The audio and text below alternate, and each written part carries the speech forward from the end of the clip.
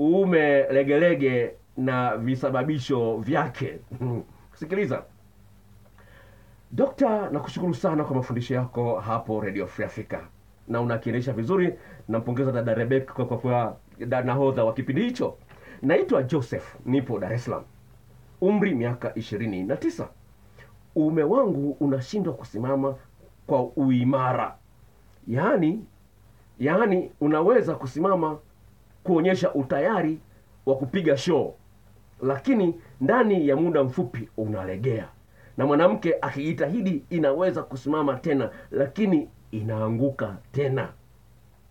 Sasa naogopa kufanya mapenzi kwani hata mwanamke akitaka kutumia mdomo wake kuniinua uume unakuwa legevu na shoo inakuwa mwisho wake. Dokta unanisaidiaje? Nimeliunganisha swali hilo na swali lingine. Sema dokta anaomba msaada. Ume wangu uwe unasimama imara. Nimeambiwa nifanye mazoezi. Nimefanya sana mazoezi. Hali haijabadilika. Hata ikisimama inanyoya ghafla. Nimeunganisha maswali mawili kutoka kwa wasikilizaji wawili. Tofauti naomba nisikilize uh, nimezungumza kwa swali la la la la, la, yule ambao nimejibu nimeleta kichwa cha habari ukitaka mwanaume akupande mara arudie kukupanda. Nimezungumzia kidogo juu ya wajibu wa mwanamke katika kumsaidia mwanaume asimame. Lakini pale ambapo mwanaume ana matatizo ambayo yameingia ndani sana ndio hali kama hii inatokea mwanamke anajitahidi asimamishe ah, mwanaume asimamishe anatumia kila mbinu lakini anashindwa. Kuna mambo yafuatayo ambayo napenda niyazungumze. La kwanza inawezekana huyu mtu hahitaji dawa lakini hajui.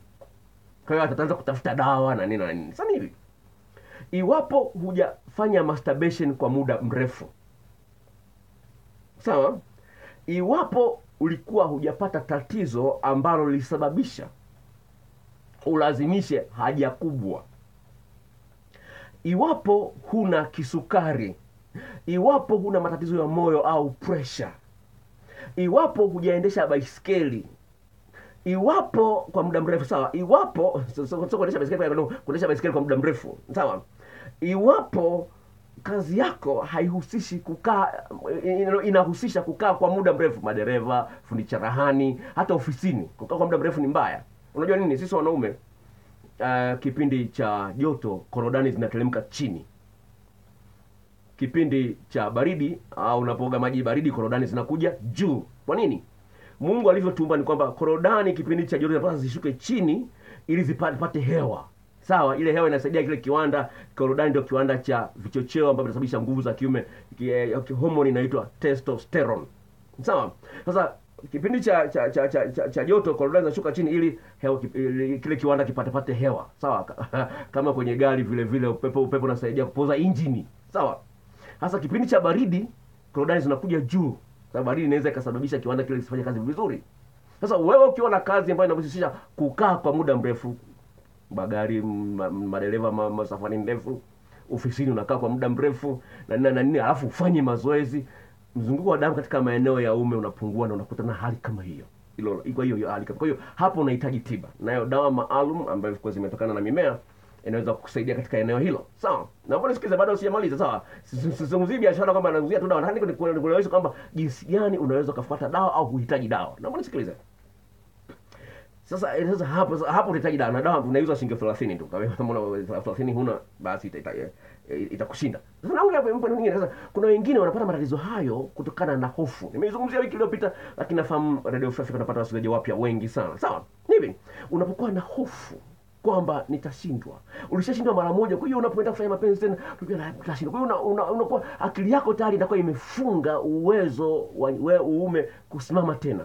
Kwa sababu unakuwa na wasiwasi ah nitashindwa nikishindwa atanicheka atanidharau. Ukishakuwa na mawazo kama hayo tayari kweli hata mwanamke afanye nini? Kwa sababu umeshafungia huku. Sasa na bomba limefungwa sawa? Idara ya maji wanafanya matengenezo. Sawa wamefunga kule maji. Hata ungefungua bomba lako vipi huku? Maji hayatoki na bidhaa ya maji wamefunga kwenye source kwenye kia, vyanzo vya maji wamefunga wanafanya matengenezo. No, TANESCO wamezima umeme wanafanya matengenezo kuna transforma imeharibika. Hata ungebonyeza switch yako vipi? Umeme upa hawaki sasa eh, akili ikifungwa haiwezi vichocheo viwezi vikaenda kule. Kwa hiyo lazima ujengee hali ile ya confidence. Sasa ili uweze kuifungua akili yako haya ni muhimu sana. Sikiliza la kwanza sawa?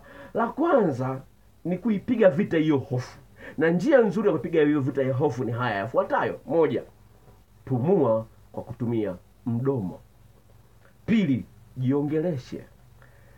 Tatu endelea kumchezea chezea mwanamke bila kujali ume umesimama au haujasimama. Unapokuwa hapo unairelease yani unaiachia akili yako ifanye kazi kama inavyotakiwa. Kwa hiyo kuna hayo mambo lazima uyafanyie kazi ili akili iweze kutoa amri uume usimamishwe. Kinyume na hapo utende, utakula dawa mpaka dawa haitakusaidia. Kwa sababu gani? Tatizo liko kwenye sehemu nyingine tofauti